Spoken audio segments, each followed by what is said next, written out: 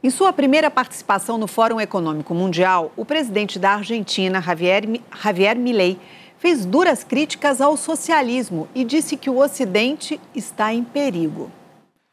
Num discurso que durou 22 minutos, o presidente argentino fez ataques a líderes globais que, segundo ele, abraçaram ideias coletivistas.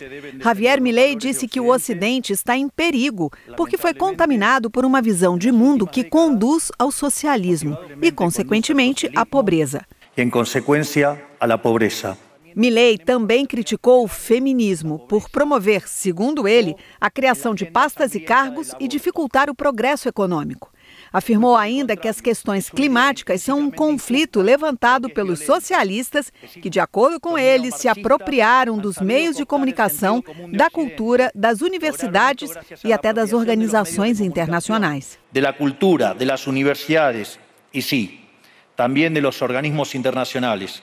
O presidente da Argentina também afirmou que quer manter uma relação adulta com o Brasil. A sua fonte segura de informação cada vez mais perto de você. Baixe agora o aplicativo do SBT News. Selecione o que é mais importante e receba notícias personalizadas. Tudo o que acontece no Brasil e no mundo 24 horas por dia.